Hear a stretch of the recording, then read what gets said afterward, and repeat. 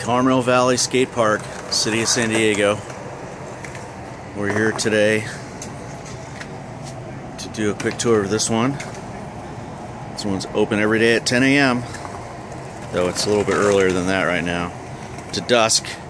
And it looks like they have lights. So maybe they sometimes they have night events. So this is a skate park. It was built in 08 by Site Design Group. It's one of uh, quite a few skate parks here in San Diego the city of.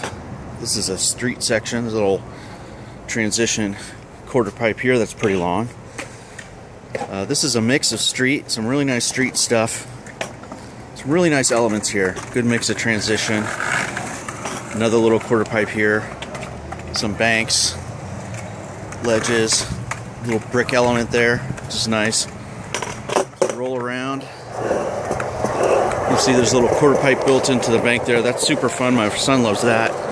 In the back here, you can see they have a drainage ditch back here, along with this little bowl here in the center. And then the jewel of this park is this bowl. Kind of a clover. I don't have the dimensions on it, but it is deep. Think uh, Combi bowl deep. Um, we got a round in. Looks like it's got that I'm going to guess that's Tetherstone coping. Um, this is a big ball. This is a big square here. This is a site design group, built, designed. Here's the proof. Right there. And as you can tell, um, so I was saying this is a deep bowl. The shallow end, not a bad drop in but it's uh, not for the faint of heart. Um, I was able to drop in here a couple times, but this is uh, quite a gnarly ball.